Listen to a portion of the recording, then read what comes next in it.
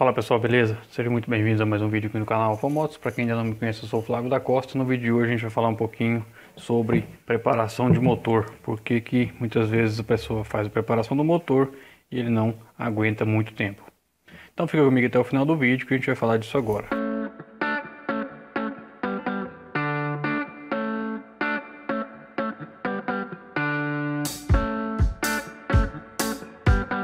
Bom pessoal, então o assunto hoje é sobre preparação de motores. Uma coisa que muitas vezes a pessoa faz a preparação de cilindro, aumenta aqui a cilindrada do motor, mas a motocicleta não roda muito tempo e já começa a dar problema, como por exemplo pode quebrar pistão, pode começar a dar fumaça, pode dar barulho. Então, no vídeo de hoje a gente vai falar um pouquinho sobre é, alguns cuidados que você tem que tomar quanto a isso, beleza? Nosso curso já está aqui na descrição do vídeo, para quem quiser aprender um pouquinho sobre motores. O link está aqui embaixo, beleza? No final do vídeo eu vou dar mais detalhes de como você faz para acessar isso aí, tranquilo? Bom pessoal, então vamos lá. O que muitas pessoas fazem muitas vezes para poder aumentar a cilindrada de um motor é abrir aqui na câmara do cilindro e colocar um pistão sob medida, ou seja, um pistão maior. Com isso a gente vai ganhar cilindrada é, o aumento de cilindrada no motor da motocicleta. Só porque muitas vezes, pessoal, apenas fazer é, abrir essa camisa de cilindro e colocar pistão maior, muitas vezes isso não vai resolver. Por quê? Porque se a gente coloca um pistão maior aqui, a gente vai ter uma necessidade maior também de alimentação de combustível, ou seja, uma maior quantidade de mistura é, ar combustível para alimentar corretamente esse motor. Às vezes a pessoa faz a preparação do motor, coloca aqui um cilindro maior, não mexe mais nada e a motocicleta começa a esquentar demais, começa a ter vazamento, é, começa a não render suficiente o que a pessoa imaginava que fosse render. Por quê? Porque está tendo alimentação pobre, ou seja, não está alimentando o suficiente para ocorrer aqui uma explosão adequada para o desempenho perfeito do, do, do da motocicleta.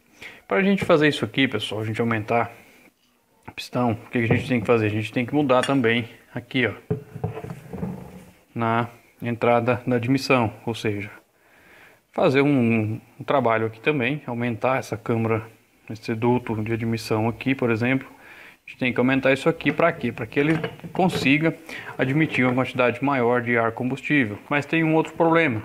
Se eu apenas aumentar aqui, ó, abrir isso aqui, vamos supor que eu abro aqui 2 milímetros em volta, vou ter um ganho de 4 milímetros aqui no diâmetro desse, desse buraco da admissão, mas eu não modifiquei válvula e também não modifiquei, no caso, carburação ou injeção eletrônica. Então não vai resolver também, porque eu vou ter um pistão maior, um duto de admissão maior, porém a alimentação, a quantidade de ar combustível que essa válvula consegue admitir vai ser o mesmo que estava antes. Então não vai adiantar nada eu aumentar aqui e aumentar também aqui no cilindro, colocar pistão maior, somente não vai resolver. Então pessoal, se eu aumentei pistão, aumentei aqui, o que, que eu tenho que aumentar agora? Eu tenho que colocar uma válvula um pouco maior, retrabalhar esse cabeçote para a gente ter um espaço aqui. Né? E aumentar também é, a passagem de gasolina, por exemplo, no motor, aumentar a entrada de ar, aumentar a entrada de combustível para a gente ter um equilíbrio entre as três partes, ou seja, pistão, admissão e a alimentação. Com isso, eu vou ter um ganho de potência, um ganho, aumento de cilindrada e também um ganho de potência. Muitas vezes a pessoa pensa que ah, vou colocar um pistão maior aqui, vou fazer esse retrabalho no cabeçote, mudar a válvula, a motocicleta vai ter um final maior, vai ter um desempenho maior, vai correr mais, é, em bom português. E muitas vezes isso aí não vai acontecer, porque a gente vai ter um ganho de força. Muitas vezes a gente vai ter um ganho de força. Aliando o ganho de força, que é aumento de cilindrada, aumento da parte da admissão e também da parte do escape, e retrabalhando ali corrente, coroa e peão, por exemplo, eu vou ter sim um desempenho, um ganho de força e também um ganho na velocidade final da motocicleta, ou seja, eu vou ter mais potência no motor com um kit de transmissão adequado para esse desempenho, para esse motor modificado, eu vou ter no final ganho de força e ganho de velocidade final. Outro detalhe que a gente tem que tomar cuidado, pessoal. Coloquei um pistão maior, verifico aqui se ele não vai passar para cima da parede superior aqui do cilindro, o que pode acontecer também de pegar aqui no cabeçote. Então muitas vezes eu tenho que fazer o cálculo da quantidade que eu aumentei aqui e aumentar também aqui na área câmara de explosão ou no cabeçote. Então o que, que eu vou fazer? Eu vou proporcionalmente ao que eu fizer no cilindro, eu vou ter que fazer aqui também no cabeçote para que o pistão não suba e pegue aqui em cima e possa vir a quebrar a canaleta de pistão, canaleta de anel. Vai ficar batendo aqui, pode dar barulho também. Então tudo isso tem que ser levado em conta. Isso aqui não é, é coisa que a gente faz, ah, vou aumentar um pistão de tal, tal medida aqui, vou aumentar tanto aqui, vou aumentar tanto aqui na admissão. Pessoal, isso aí tem que ser tudo calculado, tá? Não é simplesmente chegar aqui, cortar um, o cilindro, colocar um pistão maior, aumentar aqui um tanto qualquer que eu não sei a quantidade, aumentar aqui também, beleza. Às vezes eu posso passar da, do, da quantidade, às vezes eu posso faltar, chegar próximo.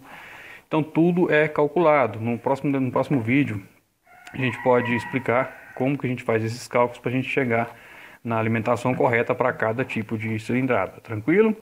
Pessoal, o que, que acontece se eu aumentar apenas o pistão, não mexer em mais nada?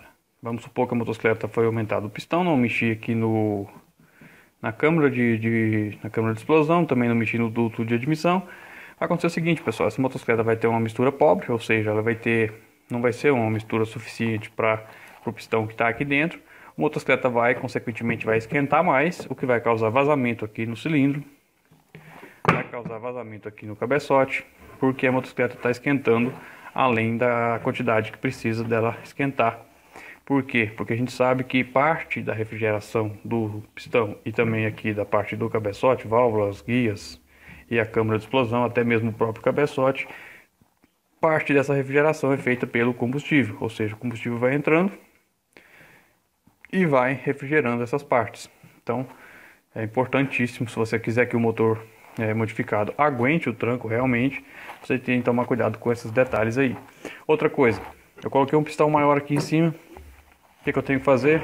Eu tenho que balancear a parte do pistão com virabrequim, porque se eu coloco o pistão maior aqui, mas o virabrequim continua original, então o ganho de massa, o ganho de peso na parte superior do motor vai ser é, desequilibrada com a parte do, da biela e parte de virabrequim. Então eu tenho que fazer o balanceamento disso aí também.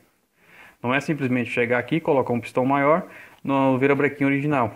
Muito provavelmente isso aí vai dar uma vibração é, exagerada, ou seja, o motor não vai trabalhar balanceado e vai causar um certa trepidação, vai causar uma vibração no motor, o que pode é, danificar também quanto a vazamentos, porque o motor vai trabalhar vibrando, virabrequim vai trabalhar desbalanceado e a parte de baixo pode ser que não aguente o tranco. Então por isso que muitas vezes a pessoa faz modificação do motor, coloca aqui um pistão maior, mantém virabrequim biela original e logo logo a parte de baixo do motor começa a dar problema. Então tudo isso tem que ser calculado, pessoal.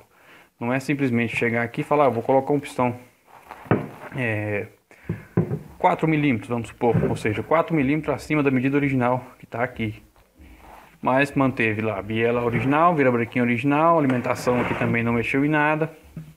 Então você vai estar, tá, na verdade, caçando um jeito aí de destruir o seu motor mais rápido. Se fizer bem feito, pessoal, se fizer tudo como tem que ser feito, aumento de pistão, duto de admissão, é, câmara de explosão, virabrequim, alimentação lá no carburador ou mesmo no sistema de injeção eletrônica, vai aguentar, pessoal. Por isso que muitas vezes a pessoa faz modificação e o motor não aguenta. Por quê? Porque você fez apenas é, uma parte, não fez o que tem que ser feito é, da forma correta. Por isso que muitas vezes a pessoa faz um motor, prepara um motor, ele roda 3 mil quilômetros, começa a dar problema ou quebra. Porque não foi feito aqui os cálculos. Se você quiser é, saber como que a gente faz esses cálculos, mais para frente eu posso fazer um vídeo explicando como que a gente faz o cálculo de cilindrada, o cálculo da taxa de compressão, o cálculo também da quantidade que eu tenho que abrir aqui, tanto na, na câmara de explosão quanto no duto de emissão. Mais para frente pode, posso fazer um vídeo falando sobre isso aí, beleza? Dependendo do resultado que esse vídeo aqui tiver, a gente pode abordar esse tema aí numa próxima oportunidade, tranquilo? Bom pessoal, então isso aqui são algumas dicas que a gente tem que seguir quando for fazer aqui um aumento de cilindrada é, no motor para você ter um bom resultado, ter um bom desempenho e garantir que isso aqui não vai quebrar com 3, 4 mil quilômetros e te deixar na mão, além do prejuízo que pode dar, beleza? E agora falando do nosso curso, que está aqui na descrição do vídeo, para quem quer aprender a trabalhar com motores, quer desmontar, montar o motor da própria motocicleta ou trabalhar na área, o, link do curso está aqui na descrição. Basta você clicar nesse link que está embaixo, você vai ser direcionado para a página da Udemy, que é onde está disponível o curso para você acessar. Você vai criar uma conta ali e a partir daí é, você vai ter acesso ao nosso curso de como desmontar e montar um motor de motocicleta, beleza? Lembrando, na própria plataforma onde está o curso tem um chat para perguntas e respostas, ou seja, você pode fazer suas perguntas que assim que possível eu vou te responder, tirar a sua dúvida ali é, na própria plataforma onde está disponível o curso. Acesso. Como que eu vou acessar esse curso? Pessoal, basta você ter um celular com internet ou um computador. Isso aí é suficiente para você ter acesso ao nosso curso. Ele é vitalício, tá? Você vai ter acesso aí enquanto você quiser ter acesso a esse curso. Ele vai ficar disponível para você com conexão com internet, um telefone ou um computador. Você vai ter acesso a todo esse conteúdo. As aulas também podem ser atualizadas a qualquer momento, tá pessoal? Assim que eu perceber que alguns alunos estão tendo algumas dificuldades, a gente pode acrescentar novas aulas e isso aí pode sanar algumas dúvidas, tranquilo? Então é isso, um grande abraço e eu te aguardo no próximo vídeo, se Deus quiser.